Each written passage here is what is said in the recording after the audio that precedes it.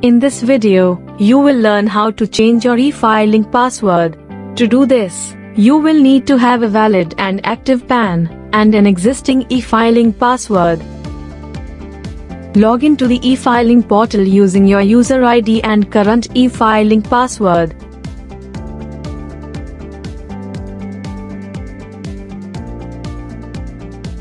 On your e-filing dashboard, go to your profile menu and click Change Password. On the Change Password page, enter your current password which is available with you, and then enter the new password which you want to update in the respective fields. Re-enter your new password in the Confirm Password field. Please note that according to the password policy, your new password should have at least 8 characters, and at most 14 characters. Both uppercase and lowercase letters. At least one number.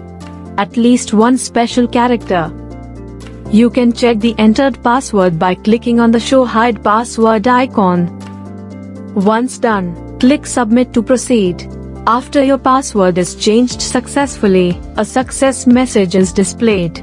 You will also receive a confirmation on your mobile number and email ID registered with the e-filing portal. Remember, it is a good practice to change your password at regular intervals for security purposes.